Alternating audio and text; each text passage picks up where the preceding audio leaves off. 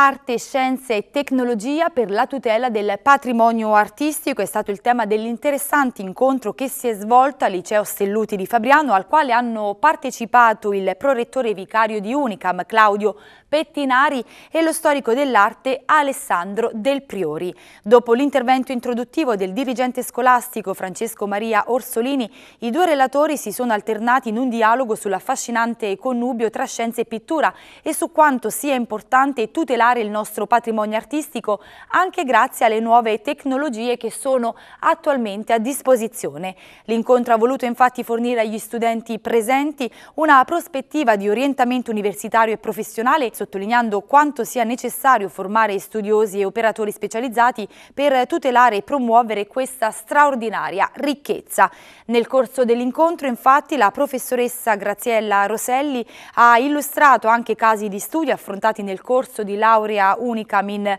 tecnologie diagnostica per la conservazione di restauro ai quali sono state applicate le nuove tecnologie di indagine scientifica.